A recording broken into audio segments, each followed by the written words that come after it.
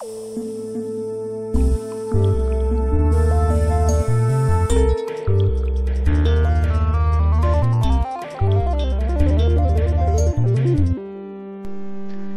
gonna open WinTr SCADA that's already installed on my laptop.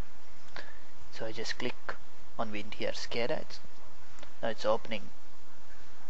It's already open now. I'm gonna create a new project. It's very simple. Just click in here and you will name any name for example I will name name SCADA FIR first. So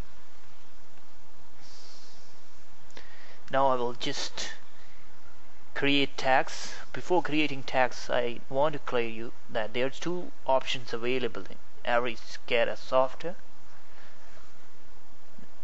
there are two types of tags one are internal one are external. Internal tags are that tags that are used within the SCADA software.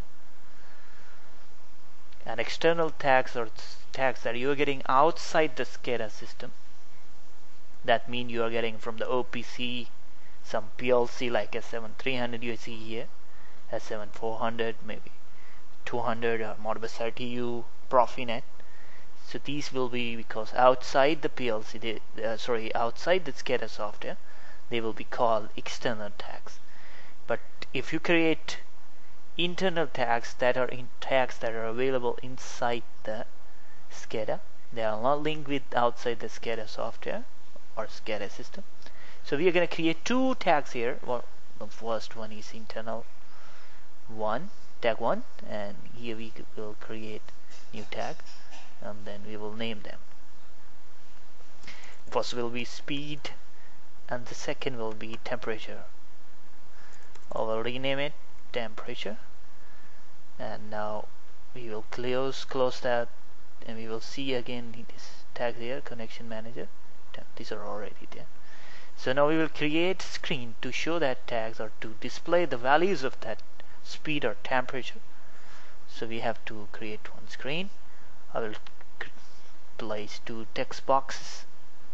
One text box for getting the value of temperature and one for getting the value of speed. I will put two gauges also.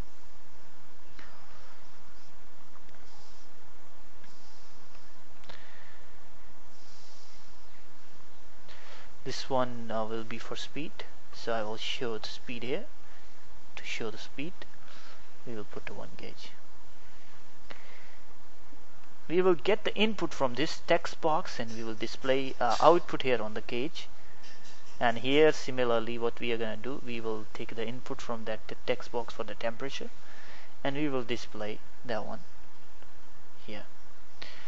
For speed it's look fine to have a gauge like this circular but for temperature it's not the best choice. So I will change the appearance and the style or gauge type. I will go to the linear and I will select thermometer from here. Now we having different options. I will select black. Apply and finish. You can resize it.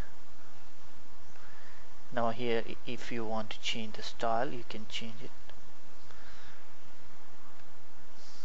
Hmm, we're having different options